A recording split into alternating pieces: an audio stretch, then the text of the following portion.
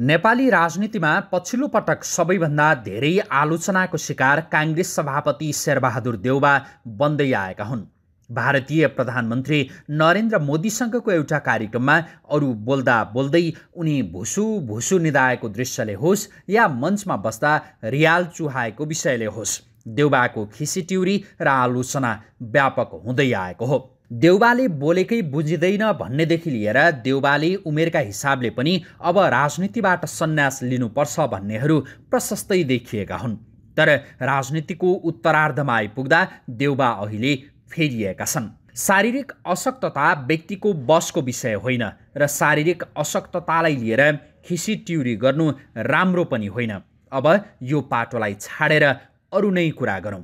दुई दुई महिनामा राख्नुपर्ने केन्द्रीय समितिको बैठक देउबाले एक वर्षपछि राखे। एक वर्षको अवधिमा देउबा पार्टी कार्यालय सानेपामा खासै गएनन्।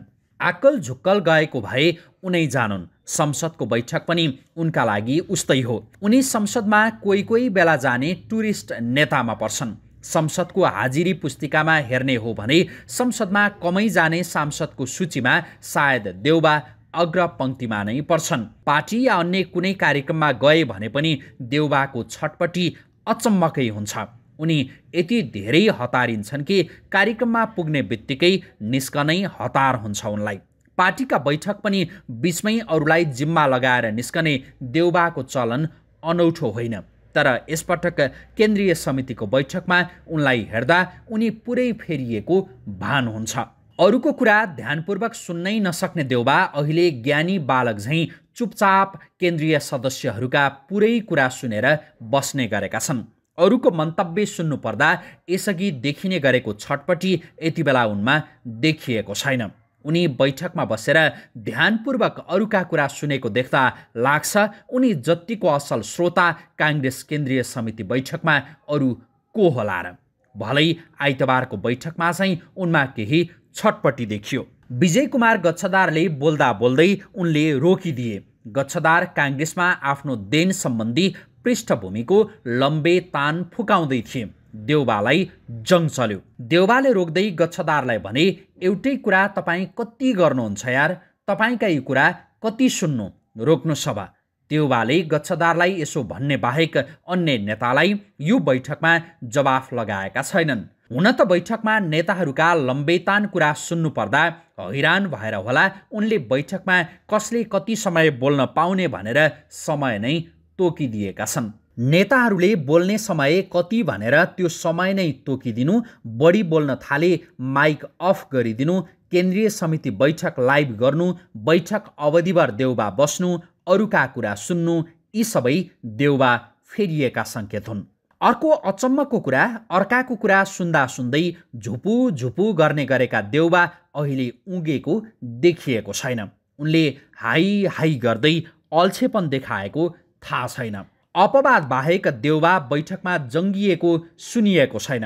रिसाउन थालेपछि फनफने लागे झैँ देखिने गरेका देउबामा अहिले त्यस्तो केही देखिएको छैन। देउबा पार्टी सभापति हुन्। उनी नै बैठकमा ढिला गएपछि बैठक निर्धारित समयभन्दा ढिला सुरु गर्नुपर्ने बाध्यता आइलाग्थ्यो। तर अहिले देउबा समयमा नै बैठक स्थलमा पुग्ने गरेका छन्। उनलाई केन्द्रीय सदस्यहरूले पट्यार लाग्ने गरी कुर्नु परेको छैन। यो सबै देउबा फेरिएको सङ्केत हो। देउबा फेरिएको सबैभन्दा अर्को ठुलो प्रमाण बैठकको प्रत्यक्ष प्रसारण हो। उनले देशका अरू दलहरूलाई नै मात खुवाउने गरी बैठकको प्रत्यक्ष प्रसारण गरे। बैठकमा यसो भयो उसो भयो फलानाले यसो भने ढिस्कानाले यसो गरे भन्दै बैठकको बिचमा नै टोयलेट जाने न्यु गरेर बाहिर पत्रकारका क्यामेरा अघि मुख देखाइरहन रुचाउने नेताहरूको दैनिकी चौपट बनाइदिए। बैठक लाइभ गर्ने आइडिया काठमाडौँका मेयर बालेनलाई देखेर आएको होस् या अरू कहीँबाट जे भए पनि उनले यसैबाट वाहा वाही बटुले। उनको यो निर्णयको चर्चा सडकदेखि सदनसम्म भयो। राष्ट्रिय सभाको बैठकमै बिना सन्दर्भ वामदेव गौतमले देउबाको गुणगान गाइदिए। अरू दलले देउबाबाट सिक्नुपर्ने भनिदिए। बैठक देउबाले जसरी नै अरू दलले पनि लाइभ गर्नुपर्ने बताए। अरूको प्रशंसामा कन्जुस्याइ गर्ने वामदेव गौतमबाटै देउबाले राष्ट्रिय सभा बैठकमै वाहा वाही पाउनु सामान्य होइन। केन्द्रीय समितिकै बैठकमा पनि आलोचनाको तीर बरु महामन्त्री गगन थापा र विश्वप्रकाश शर्माहरूतिर तेर्सिएको छ। देउबाको आलोचना तुलनात्मक रूपमा कम देखिन्छ। यो देउबाको सफलता हो। बाहिर सार्वजनिक कार्यक्रमहरूमा आफ्नो व्यापक आलोचना गर्ने गगन थापाहरूलाई पार्टीको केन्द्रीय समिति बैठकमै दुनियाँले देख्ने गरी आलोचनाको बाढी ल्याइदिन सक्नु सामान्य कुरा होइन। देउबा उसै पनि कम बोल्ने नेतामा पर्छन्। उनले के बोल्छन् त्यो हेर्न बाँकी छ। तर आफू बोल्दै नबोली अरूकै मुखबाट अहिलेका लोकप्रिय भनिएका महामन्त्रीहरूलाई साइजमा ल्याउने क्षमता देउबाको चतुर राजनीतिको उपज हो। तर महामन्त्रीहरूलाई नङ्ग्याएर मात्रै काङ्ग्रेस बलियो हुँदैन। फेरिँदै गएका देउबाले बुझ्नुपर्ने कुरा काङ्ग्रेस बलियो बनाउन युवा नेताहरूलाई पनि बलियो बनाउनु पर्छ न कि अरूका नजरमा कमजोर। हुन त आफूलाई संसदीय दलको नेताबाट आउट गर्छु भन्ने गगन थापाको बोलीबाट पनि देउबा चिडिएका होलान्। अनि त्यो रिस काङ्ग्रेस केन्द्रीय समितिका आफू पक्षीय नेताका मुखबाट ओकल्न लगाएका होलान्। तर देउबा फेरिँदै गर्दा काङ्ग्रेस पनि फेर्ने हो भने देउबाले कोही कसैलाई हतोत्साहित गरेर होइन सबैलाई उत्साहित गरेर अघि बढ्नुपर्छ। आजको प्रेस डट कमका लागि रोहित भण्डारीको रिपोर्ट। अस्ति नेपाली काङ्ग्रेसले लाइभ गरेर केन्द्रीय कमिटीको बैठक सुरु गरेको छ। यो कम्युनिस्टहरूलाई चुनौती। कम्युनिस्ट पार्टीहरू हो त्यो बाटोमा हिँड। सक्छौ कि सक्दैनौ? अब गोप्य बस्नुपर्ने भ्रष्टाचार गर्नको निम्ति व्यविचार गर्नको निम्ति दुराचार गर्नको निम्ति बाहेक अर्को गोप्य रूपमा निर्णय गर्नुपर्ने कुनै विषय छैन। सङ्घीय लोकतान्त्रिक गणतन्त्र प्राप्त भइसकेपछि सबै प्राप्त भयो। समृद्धि भनेर चाहे चिनको समृद्धि चाहे अमेरिकाको समृद्धि चाहे युरोपको समृद्धि होस् यही बाटोबाट प्राप्त गर्न सक्छौँ हामीले। त्यसो भएर खुला गरेर एकदम धेरै राम्रो काम गर्नुभएको छ। नेपाली काङ्ग्रेसले धेरै राम्रो काम गरेको छ। नेपाली काङ्ग्रेसलाई मेरो बधाई छ र त्यही बाटोमा कम्युनिस्टहरू पनि हिँड्नुपर्छ भन्ने म अनुरोध गर्दै आफ्नो विचार अन्त्य गर्छु। धन्यवाद। हाम्रो मन्त्रीजीहरू प्रिपेयर्डै हुनुहुन्न। मन्त्री भएर जानुहुन्छ सिक्दा सिक्दै मन्त्रालय पनि गइसक्छ। उहाँहरूले बुझेकै हुन्न सत्तै गइसक्छ सो हामीले पार्टीभित्र हरेक हरेक मन्त्रालयको के हो त भनेर बुझ्नु पर्यो। मेकानिजम के हो के चाहिँ गर्नु खोजेको छ र त्यसको लिङ्क हाम्रो घोषणा पत्रसँग कहाँ छ त? हामी घोषणा पत्र खालि त्यो चुनावको लागि मात्रै हो र? घोषणा पत्रसँग सरकारको लिङ्क गर्न हामीले जान्नु पर्यो। सरकारको नीतिहरू र नियम कानुनहरू पनि बनाउँदाखेरि हामी सांसद भए पनि हामी मन्त्री भए पनि कहाँ छ त मेल खाने? सो त्योलाई इङ्गित गरेर हाम्रो पार्टीले चाहिँ प्रोग्राम बनाउनु पर्छ जस्तो मलाई लाग्छ। अनि मात्रै हाम्रो भोट ब्याङ्क बढ्छ। हामी जान्छौँ फिल्डमा एउटा कुरा भन्छौँ अर्कै कुरा गरेर जान्छौँ अनि हामीलाई भोट आउँदैन। र यो सङ्गठनको विस्तारमा दुईवटा कुरा मात्रै गर्नुपर्छ। एउटा कुरा के हो भने प्रशिक्षण प्रशिक्षण प्रशिक्षण र यो नम्बर बढाएर केही हुँदैन। मलाई यस्तो जिल्लाहरू थाहा छ जहाँ चाहिँ ओडाहरू थाहा छ जहाँ चाहिँ ओडामा भएका केन्द्रीय सदस्य के अरे क्रियाशील सदस्यभन्दा कम भोट आएको ओडाहरू मलाई थाहा छ यहाँ। तपाईँहरू सबैलाई थाहा होला सायद।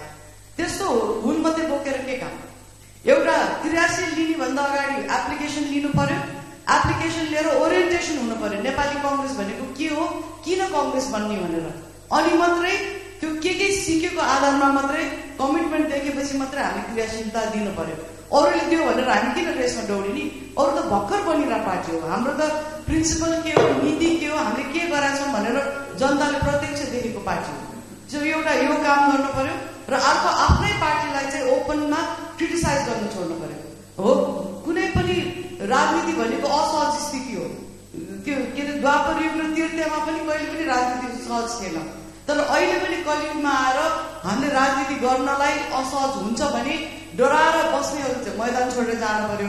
जो चाहिँ म गर्छु भनेर आएको छ उनीहरूले चाहिँ यो वि अग्री टु डिसअग्री भनेर पनि यो राजनीतिमा चाहिँ लागेर एउटा प्रिन्सिपलको पछाडि डोरेर जाने हो भने अनि मात्रै हाम्रो राजनीति राम्रो हुन्छ। हाम्रो भोट हामी आफै काटिरहेको छौँ कसैले पनि हामीलाई हराउन सक्दैन। र तेस्रो कुरा जुन चाहिँ कुराहरू हाम्रो देशमा अब ज्वलन्त कुराहरू छन् अब इलेक्सन कमिसनले तिस पर्सेन्ट महिला उठाउनै पर्छ भनेको छ। हाम्रो पार्टीको प्लान के हो? लास्टमा गएर क्रस बालर महिला खोजिदियो कि अहिले नै महिलाको मात्रै कन्स्टिट्युन्सी बनाउन हामी लबी गरौँ हामीले पहिला पनि लबी गरे र अहिले त आवाज उठ्यो कि समानुपातिकमा अरू काम लाग्दैन। ल हामी कामै लाग्दैन होला रे महिला। उसले हामीलाई लडाउनुहोस् न त।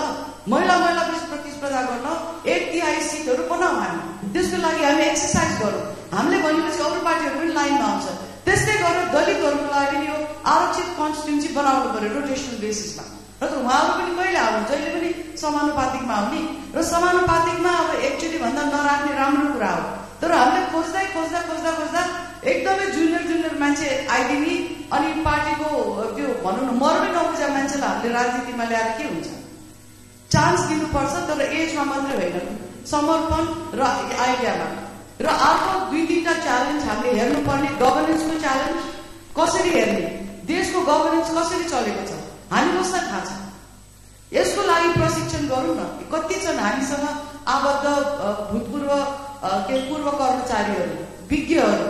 हामीले सिक्दै सिक्दैनौँ राजनीति गर्ने गभर्मेन्ट चलाउने भनेर इलेक्सन जितेर आउँछ गभर्मेन्ट चलाउँदाखेरि फेल खान्छ। किनभने हामीलाई थाहै छैन। बरु त्यतातिर पार्टीलाई जोडाउँ न how to do politics how to run a government